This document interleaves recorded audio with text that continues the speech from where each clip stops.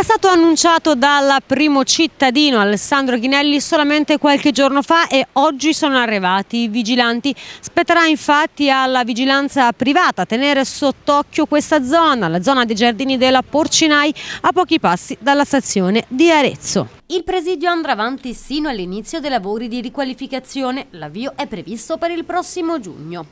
Sono già stati individuati anche i giorni e le fasce orarie in cui la zona sarà presidiata. I vigilantes saranno sul posto dalla domenica al giovedì dalle 14 alle 2, mentre il venerdì e il sabato la vigilanza sarà assicurata sino alle 4 del mattino.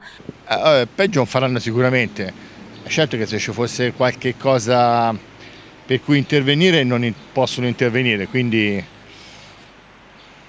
diciamo, possono fare un po' da deterrente sperando che non capiscano subito che non sono della polizia. La zona dei giardini del Porcinai nelle ultime settimane in più occasioni era stata teatro di episodi di criminalità e degrado. Commercianti e residenti ormai da anni lamentano anche spaccio, violenza e bivacchi. Oltre al presidio fisso, l'amministrazione comunale ha già annunciato che saranno installati dei fari per illuminare meglio i giardini e saranno sfoltiti anche gli alberi per rendere più ampia la visibilità. Spero sia una cosa positiva positivo, ora vediamo un po' i risultati.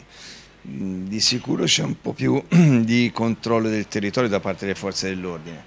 Sicuramente è un problema di non avere un organico sufficiente per eh, poter essere presenti come devono e vediamo un pochino, probabilmente la vigilanza ha un potere anche di intervento non personale ma di fare intervenire le forze dell'ordine molto più veloce di noi, insomma. noi di solito se chiamiamo passa un po' di tempo prima che vediamo, speriamo che sia di buon auspicio questa presenza perché ne abbiamo quasi bisogno vorrei dire dopo tutto quello che è successo.